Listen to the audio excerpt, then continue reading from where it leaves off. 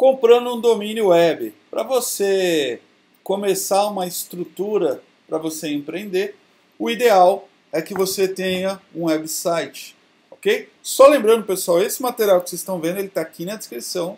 E na descrição também você encontra uma playlist com todas essas aulas. É só clicar lá para poder assistir.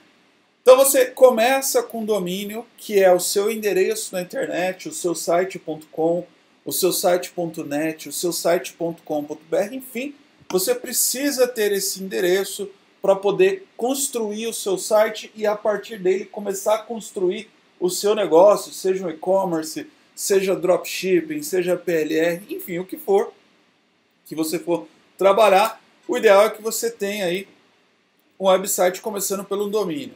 É, Para comprar o domínio, mais tradicional é o registro. Então eu posso aqui no registro e comprar o domínio. Então eu pesquiso aqui, ó, comprar domínio.com.br. Comprar domínio não está disponível. Aí eu vou procurar outro. Compre domínio. Compre domínio também não está disponível. Domínio BR.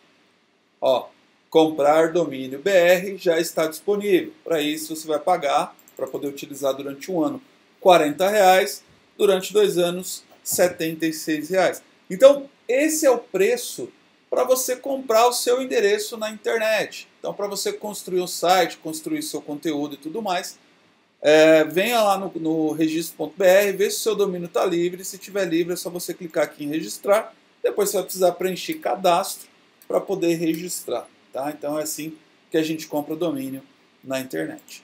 Beleza, pessoal? Então é isso. Espero que você tenha gostado desse conteúdo. Se você gostou, clica aqui em gostei e também se inscreve no nosso canal para receber mais conteúdos como esse. Eu sou o Lucas Cruz, fico por aqui e te vejo nos próximos vídeos.